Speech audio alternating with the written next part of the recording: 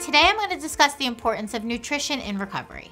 When you're on the path of recovery, nutrition and exercise become powerful tools that can be utilized to boost your mood, increase your energy levels, and reduce overall stress. With so many benefits to be had, allowing health to play an active role in your recovery isn't just about reaching your goals, but reclaiming your mind, body, and spirit in sobriety.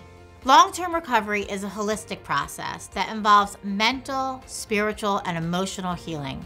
So, proper nutrition is vital in supporting your goals.